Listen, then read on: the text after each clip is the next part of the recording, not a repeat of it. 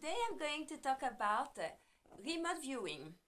Okay, remote viewing. Why is it called remote viewing? Because they don't want to say these are psychic things, and uh, every time when you talk about psychic or seeing the future, it's like for the weirdos.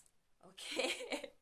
then Ingo Swann, who was a proper a proper psychic, he was working for Secret Services.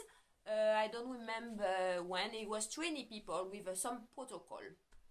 Me, I'm not talking about protocol. Eh? I always do remote viewing, but I wasn't calling remote viewing. I call it, I look in my head, okay?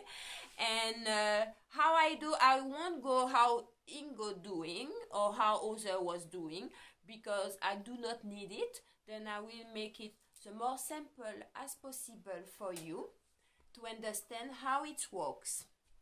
First, you have to calm down really calm down, cut out your thought. The thing is, you have to cut out your thought. You don't think anymore. You have no thought out of you, no logical out of you. And at this moment, with your eyes closed, you have from I don't know where, I didn't ask myself really, images coming up.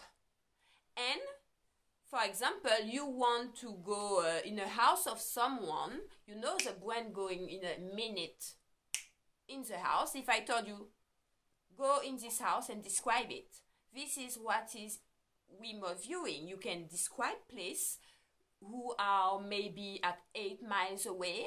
You can describe also event in the future it's easy. It's not complicated at all. Well, you say, yeah, I don't know why for you it's easy. I always did this, but I didn't know the name was uh, remote viewing. Just my head. Okay, I, I breathe.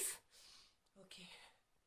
I go, for example, I could take a, a pick up a, I go to the boyfriend of my sister in this year, or I go to, I don't know, for example, when somebody call me.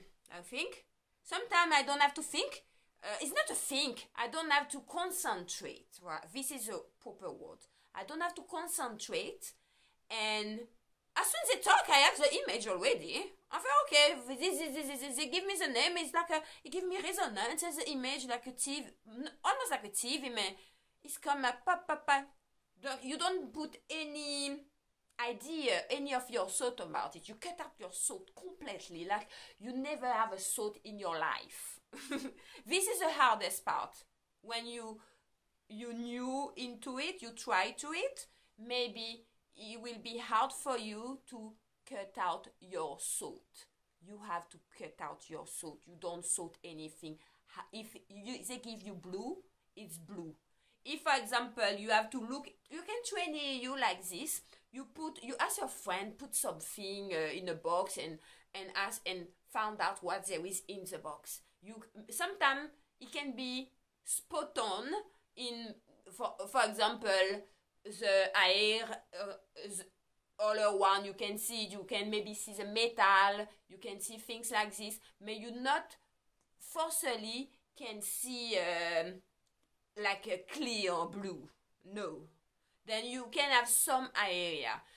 For emotion of people in remote review, you can have it very spot on. You can have it also even the intonation of, of them. For example, the way they talk, you can even talk like them.